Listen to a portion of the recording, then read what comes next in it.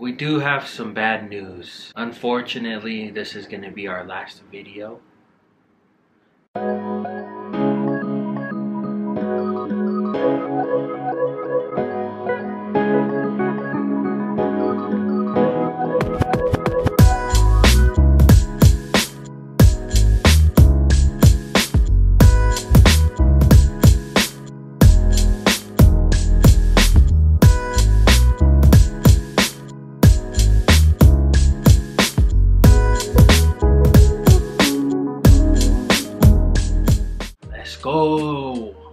Back. It is me, Sonny, And I'm Ingrid. aka the Avid Travelers. Just him. Just me, I guess. But we are back for another video. As promised, this is our food review of the restaurants we went to eat at in Phoenix, Arizona. We feel like these three restaurants are must try foods in Phoenix, Arizona. We do have some bad news. Unfortunately, this is gonna be our last video that we post on Sundays. Don't get scary. We are moving our drop dates to Wednesdays at 3 p.m. So that is when we will be posting videos from here on out. Lucky for you, you get two videos this week. How exciting. Wow, so excited. um, we are excited that we get to post more than one video this week, which I'm excited about. I'm excited about that. But yes, thank you all for supporting us thus far and for watching our videos every Sunday. But we are booting it to Tuesday. Oh, whoops. Wednesday. Before we get started with the video, don't forget to like Comment. and subscribe to the channel. what was that? That's my robot That voice. so good. back to what we were talking about. First restaurant we ate at, like we mentioned last week, was Comic X. Comic X. Very cool spot. A lot of, what they call it, pop culture stuff. Halo, Harry Potter, Avengers, Star Wars. Had a- Simpsons. Simpsons, a lot of stuff over there. Mario. Yeah, like I said, a lot of stuff. What we ate over there. So the first thing that we had is we had to order some drinks and we decided to try butter beer. Butter beer. We've only had a couple like varieties of butter beer and the only other one that we could really compare it to was the one that we had at Universal Studios. And what was your rating on the butter beer there? For me, the butter beer from this place was a 5 out of 5. It was better than the butter beer that you get at both of the Universal I think Studios. Excuse me, this is my rating. it was better than the butter beer you get at the Universal Studios in California and the one in Florida. Trust me. Don't- Ingrid doesn't have. Don't trust it. Actually, think this one's better than the one at Universal. No. Yeah. Immaculate taste buds like I do. Immaculate what? Oh yeah, you got immaculate taste buds, all right. Yes, I do. You know you'd be loving the restaurant to take you out to. Not all of them. Anyways, but he said five out of five. I think it was a three, a three out of five. I didn't re- really like it as much as he did. I would much rather have the one from Universal Studios, whichever one, the California one or the Florida one. How's it? It's good. But I like the Universal one better. No way. Yes. This one's I way like the. Universal one better. They were both better than what I had. You crazy, bro. So I don't know what this is. This was the best butter beer you'll ever have. If Nah. go try it, trust me. If you've been to the ones in in the butter beer at Universal Studios, pretty pretty expensive, and the one over here tastes better, and you got a big old cup like you seen in the video. It was alright. For the appetizer, we ordered lanterns, avocado fries. I think for me, this was a three out of five. It needed a Salt. little- yeah, a lot Pepper. more seasoning. Seasoning. Like a lot more seasoning. I would give it a two out of five. I wouldn't necessarily order this again or even recommend it to anyone to order just because it was lacking flavor. And that's it for the appetizer. But for the main course, I had the Infinity Challenge burger. And this thing was freaking It was humongous. huge. It was fallen over. I couldn't even hold it. So I grabbed like the fork and the knife and was cutting it and eating it piece by piece because it was so humongous. I ordered that with the sweet potato fries. The sweet potato fries for me was a one out of five because I love sweet potato fries and the ones over here were kind of soggy and didn't have enough salt. The burger on the other hand, I would give that a three out of five. Once again, just needed more seasoning. But I ate, I pretty much ate the whole burger. I give it a three out of five, but I'm still gonna eat it all.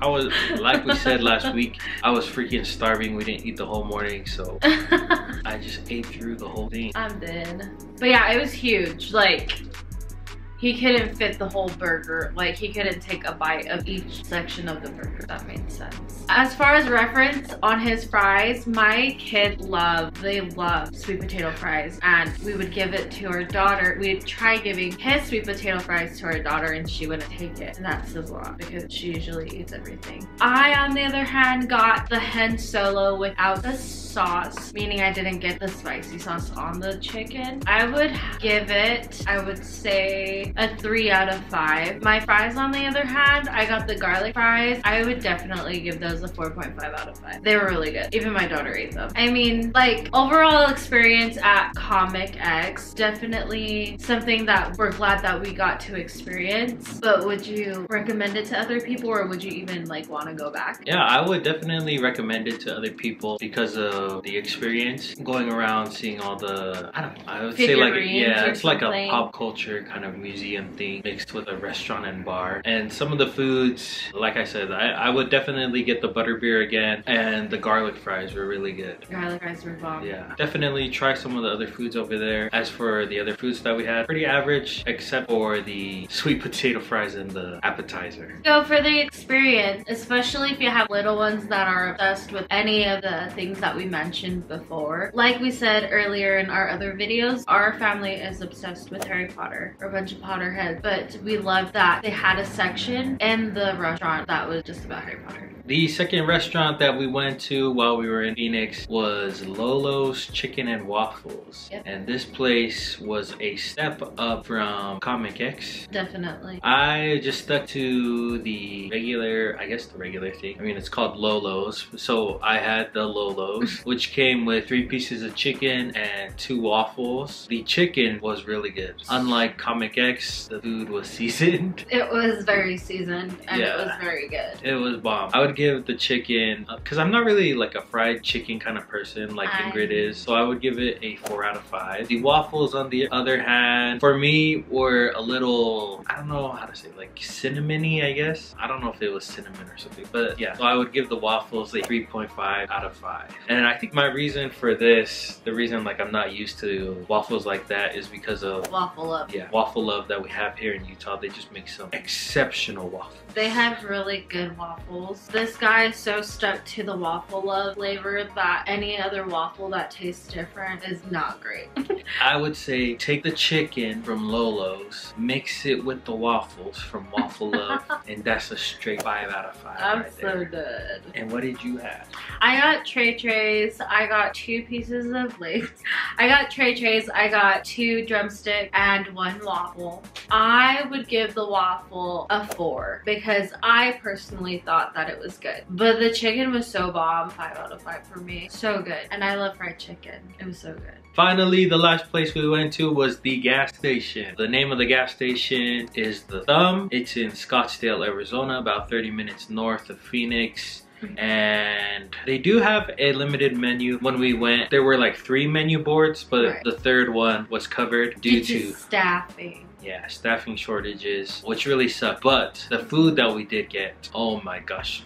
Oh my goodness. Like, chef's kiss. Literally, I dream about it.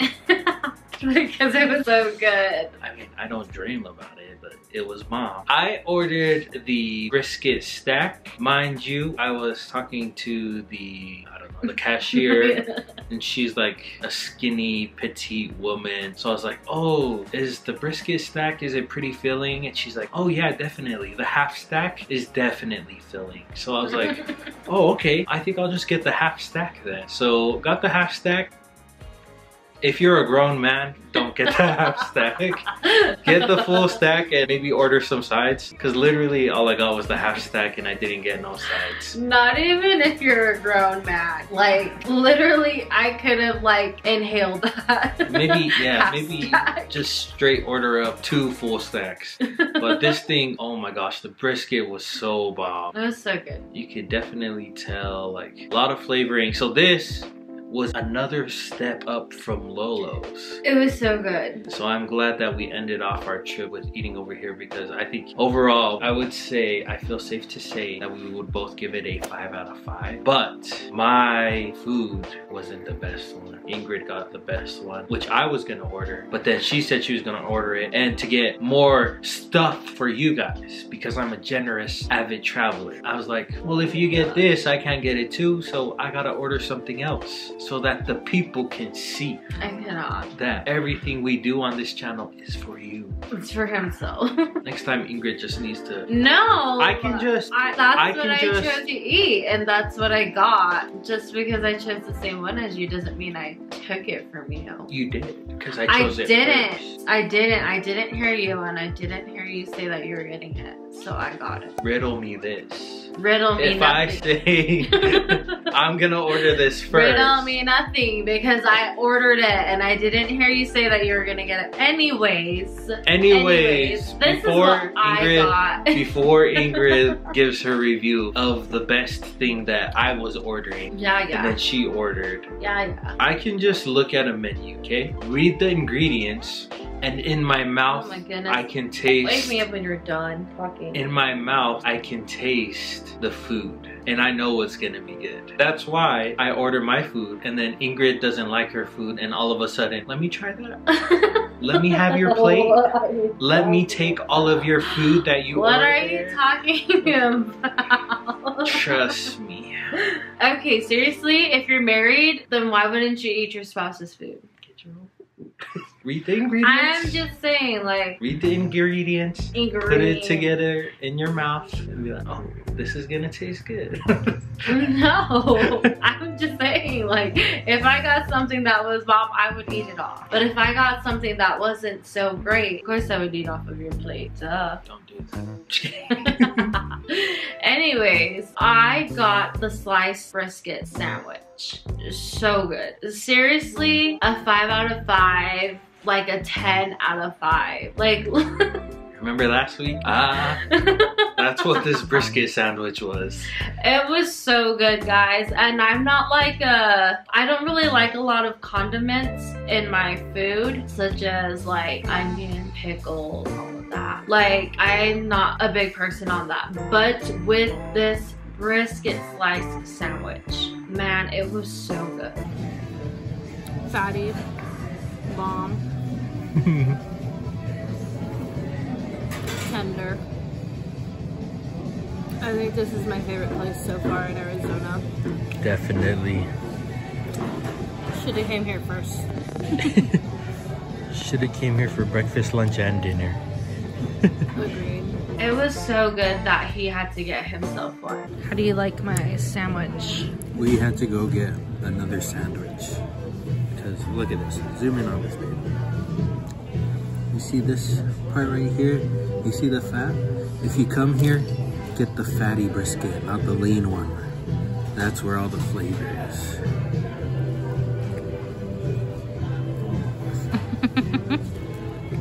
it's so bomb. Look at that. It is so pretty.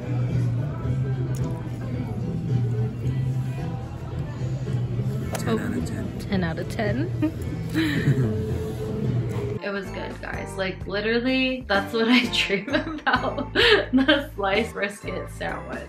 If you're ever, ever, ever planning a trip to Phoenix or to Arizona in general, please make it a priority to stop there because it's so good. This is a must visit spot. Yeah, that's all we got for you. Tune in on Wednesday where we let y'all know where our Where next travel destination is. And please remember to comment on that video things we should do at that place. Yes. For this video, don't forget to like Comment. and subscribe to our channel. Thank you for everyone who's been coming back, viewing our videos, and leaving comments. If there's any other places that you recommend, like bomb food that we missed out in Phoenix, comment down below and tell us where so we can hit it up next when we're in Arizona. Yes, uh, thank you for watching the video. We outies.